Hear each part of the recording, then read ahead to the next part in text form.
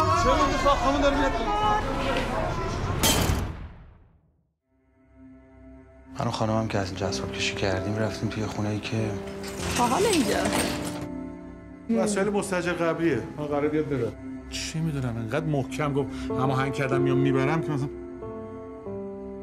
セールスマンの死の舞台に立つ俳優の夫婦 ببین سر راه از سوپرمارکت های باز بود یه چیز برای صبحونه بگی هیچی نداریم تو خونه.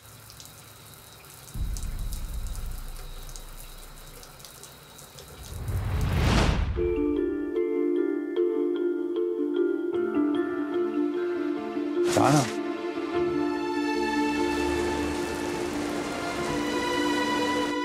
یه مرتبه دیدیم از بالا صدای داد و جیغ اومد. رهنه جان. پس پشت دست کرد تو موام. موام. فکرم تویی.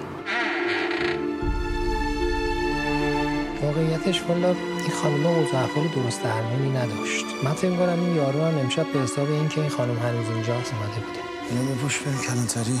میتونم اذیت میشم واقعا خب از من چی کار کنم دیگه من یه رو باید پیداش کنم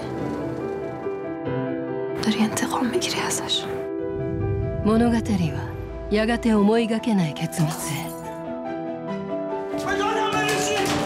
名将アスガー・ファルハディが送る濃密な心理サスペンスセールスマン